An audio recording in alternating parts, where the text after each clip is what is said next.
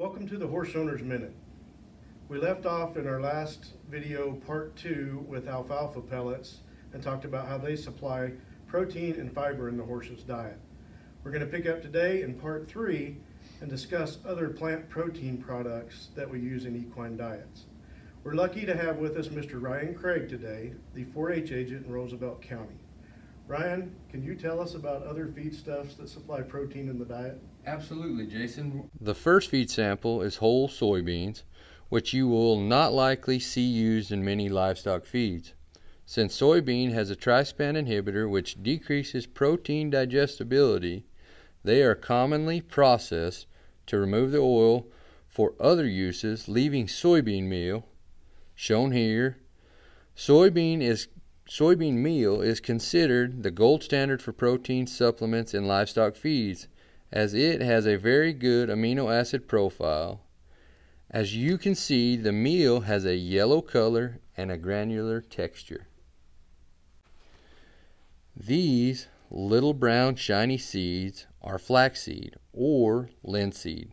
Flax is grown for its oil or its fiber depending on the variety.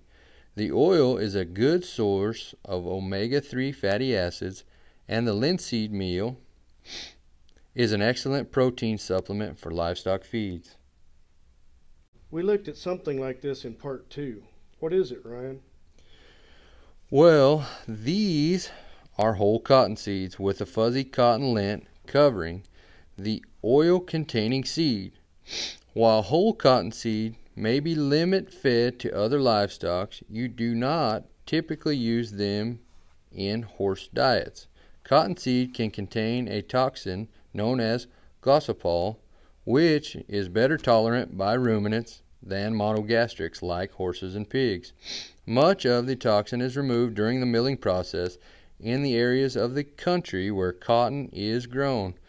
You may see cottonseed meal used in feeds as a protein supplement, although its amino acid profile is not as good as our soybean meal. Ryan, what's this bird seed doing in the kit for horses? Well, Jason, it's the last protein supplement we're going to cover. This is sunflower seed. It is another protein supplement in areas where sunflower is harvested. The meal can also be used as a good horse feed protein. What's next, Ryan?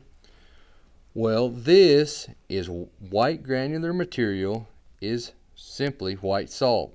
It is used to provide electrolytes to the horse and encourage the intake of feed.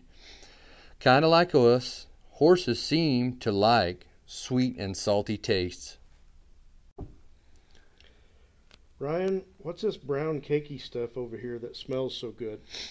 This is simply dried molasses. Both dried and liquid molasses are commonly used in the feed milling process to reduce dust in feed mix. Helps bind feed ingredients together as well as helps in flavoring to encourage intake for horses. Ryan, thank you for sharing your knowledge and expertise with us today. Folks, this concludes part three of our video series on the New Mexico 4-H Hippology Feed ID Kit. Thank you for joining us, and remember, your New Mexico Cooperative Extension Service is here to provide answers and research-based information to your equine questions. Thank you for joining us. See you next time on the Horse Owner's Minute.